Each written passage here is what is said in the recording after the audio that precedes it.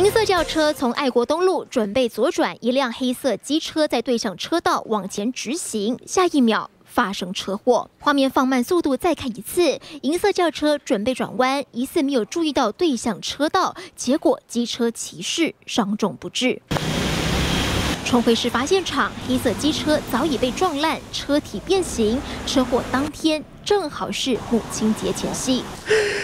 我好不舍，我好想。肇事的牧师只说一句，他没有看见，一点歉意都没有。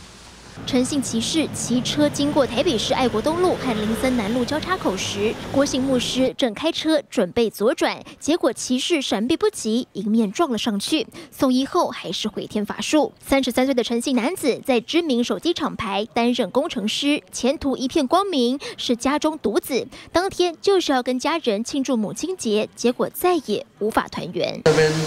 做三四年了，常常看这边发生车祸。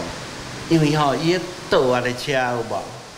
倒弯的车，啊，迄个迄边汹涌来啦，挡袂掉的话。这条夺命路口没有交通号志，也没有警告标示，大小车祸不断。针对爱国东路哦林森南路口的部分呢，有会刊决议要增设啊号志路口来加强。哦，转弯与直行车的一个区别。像这样没有交通号志的路口，在台北市不算少见。骑车或开车经过时，千万要小心再小心。记者刘亮恒、张若愚台北采访报道。